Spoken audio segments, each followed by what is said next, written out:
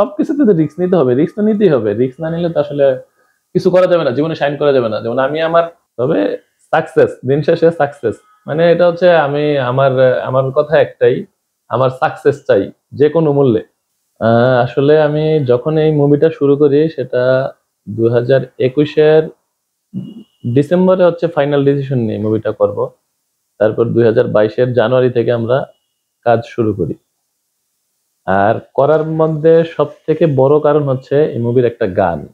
একটা গান আছে এই মুভিটার যেটা আমরা আসলে মুভিটা মায়াদা লাভ। এখন আমরা একটু প্রযুক্তি বা বর্তমান সময়ের পরিপ্রেক্ষিতে আমরা আসলে মায়াদা লাভ এটা নামটা করেছি।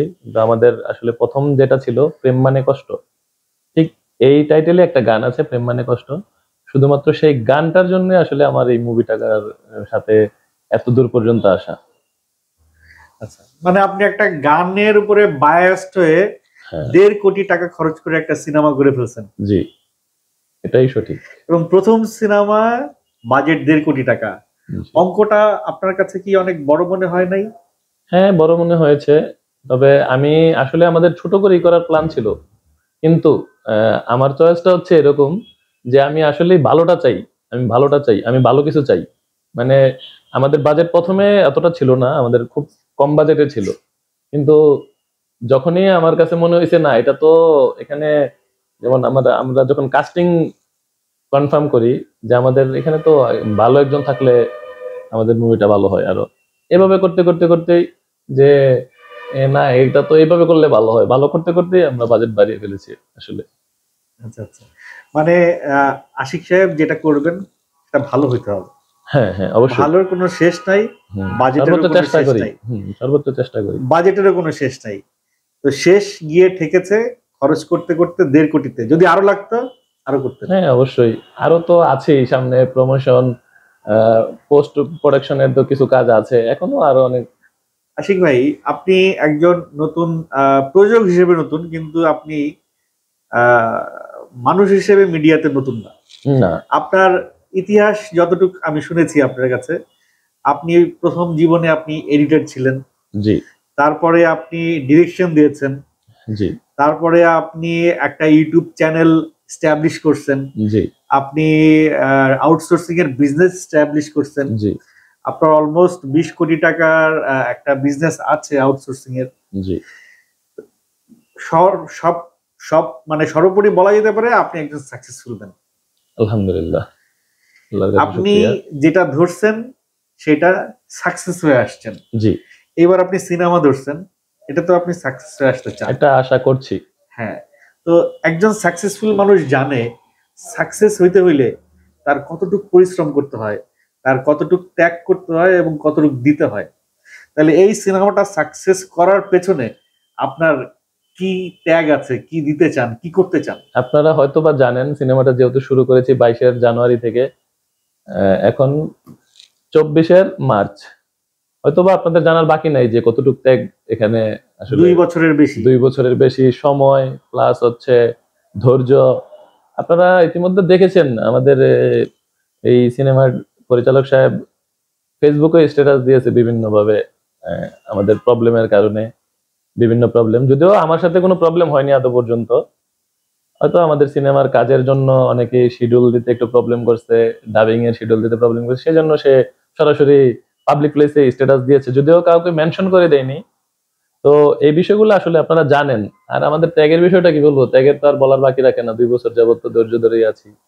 আর ত্যাগ প্রয়োজনে আরও ত্যাগ করব। তবে সাকসেস দিন শেষে সাকসেস মানে এটা হচ্ছে আমি, আমার আমার কথা একটাই। আমার সাকসেস চাই, যে কোনো মূল্যে। সর্বোচ্চ চেষ্টা করতে হবে যে কোনো মূল্যে সাকসেস চাই পেতেই হবে।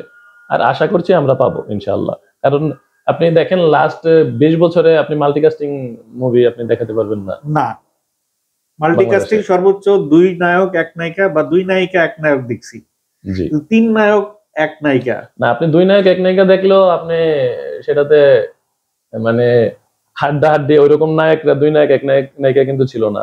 মানে নতুন কোন নায়ক ওই একজন ভালো স্টার নায়কের সাথে ওইভাবে ছিল দুই নায়ক এক নায়িকা। কিন্তু রোশান বর্তমানে ভালো অবস্থানে আছে সাইমন ভালো অবস্থানে আছে আনিসুর রহমান মিলন ভালো অবস্থানে আছে তিনজনে কিন্তু মানে পেয়ার লাল ক্যারেক্টার সেম তো তিনজনে ভালো অবস্থানে আছে। এইভাবে আসলে কেউ চিন্তা করে করে না। আর আমার চিন্তা ভাবনা একটু ডিফারেন্ট আমি চাই নতুন কিছু করার জন্য। সেজন্য মাল্টিকাস্টিংটা আমি পছন্দ করে নিয়েছি গল্পটা খুব অসাধারণ। গল্পটা মোটামুটি আপনারা দেখলে বুঝতে পারবেন। আমি তো গল্পটা শুনেই গান তো গানটা তো হচ্ছে আমার একবারে সব থেকে মানে হচ্ছে মানে ভেতর থেকে আসা আর কি গানটা। গানটার জন্যই মুভিটা করা গল্পটা খুব সুন্দর। আপনি জীবনের প্রথম এডিটিং করে এক হাজার টাকা পেয়েছেন। জি। আর আজকে দেড় কোটি টাকা দিয়ে আপনি একটা সিনেমা বানিয়েছেন। মাঝখানে ছয় সাত বছরের তফাৎ মাত্র। এই ছয় সাত বছরে এত সাকসেস কীভাবে আসলো? এর পেছনের কারিগর কে? আপনাকে উৎসাহ দেয় কি? আমাকে আসলে পেছনের কারিগর যদি বলতে চান সেক্ষেত্রে আমি আমার প্রথমে আমার মা বাবার কথা বলব। আমার বাবা নেই মা আছেন মার কথা বলব। আমার আম্মা আমাকে সর্বোচ্চ সাপোর্ট দেন এবং দোয়া করেন। আর আমার ওয়াইফও আমাকে সর্বোচ্চ সাপোর্ট দেন। আর কাজের পিছনে আমাকে প্রথম সাপোর্টটা যে দিয়েছে এই মিডিয়াতে প্রথমত তো আমার মেজো ভাই আছেনই ওনার সাথে আমার মিডিয়াতে নামটা শুনি আমরা। আমার মেজো ভাই আহ, শিউল বাবু।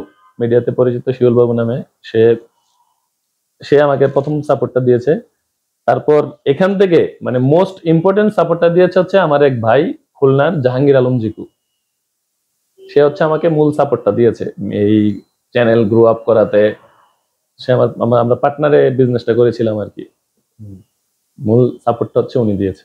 আপনি কাজ করছেন আউটসোর্সিং মিডিয়াতে আবার ওখানে আপনি সাকসেসফুল আসলেন সিনেমা প্রয়োজনায়।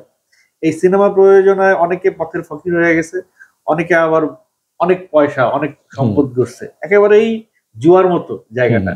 একেবারে ভাগ্য যাকে সহায় হয় তাকে ভরে দেয় আর যার ভাগ্য সহায় হয় না সে ফকির হয়ে যায়।